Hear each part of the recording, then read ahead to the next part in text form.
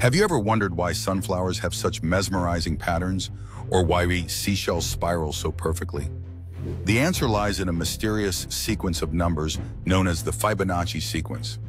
Starting with 0 and 1, each number in the sequence is the sum of the two before it. 0, 1, 1, 2, 3, 5, 8, and so on. This simple pattern unlocks a hidden order in the chaos of nature. Look closely at a sunflower center. The seeds spiral out in both directions, and the number of spirals in each direction is almost always a Fibonacci number. Pine cones, pineapples, and even the petals on flowers often follow these numbers too, revealing a natural blueprint for growth. But the magic doesn't stop on Earth. The spiral arms of galaxies, those enormous whirls of stars, often trace out a Fibonacci spiral, showing this pattern's cosmic reach. The sequence's secret lies in its efficiency.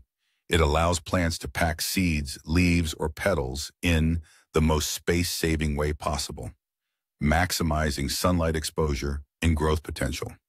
What seems random is actually nature's mathematical signature, silently guiding growth from the tiniest flower to the vastness of the cosmos, connecting life in the universe through numbers.